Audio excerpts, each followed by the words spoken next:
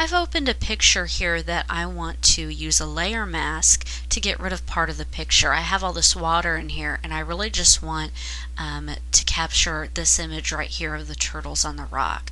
So a perfect way to do that is to create a layer mask.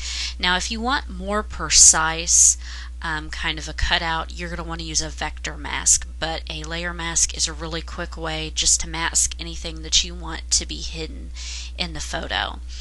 So if you open up a picture, it's going to set it as background. You'll need to change that into an actual layer in order to create a layer mask. So go ahead and double click on it. You can name it if you want.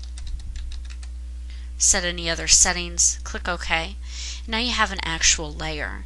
Now what you want to do is you want to click on this button at the bottom of your layers palette, add layer mask. And you see you have this white square on that layer.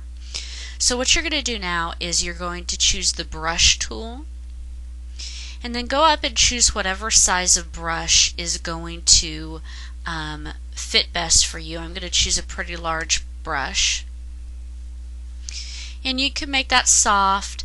Um, you might want to change the opacity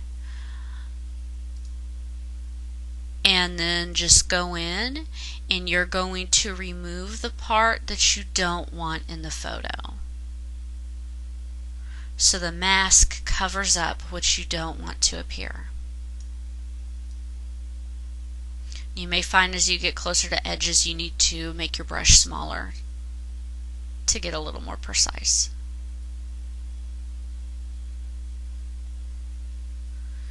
And then of course you can leave this as is or you can use it in another document to showcase just this portion of your photo.